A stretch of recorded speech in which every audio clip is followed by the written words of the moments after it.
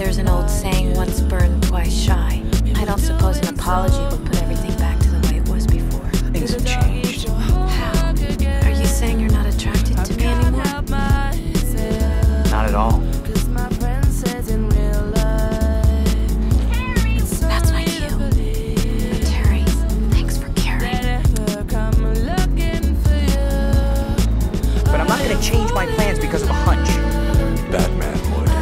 Batman would. Hey, I put my life on the line all the time. One night's not gonna make any difference. One night always makes the difference. I know what it is. You can't stand to see anyone going out and having a life. You want me to end up like you, alone. Let me tell you about a woman named Selina Kyle. Mr. Wayne, those things I said. I'm sorry.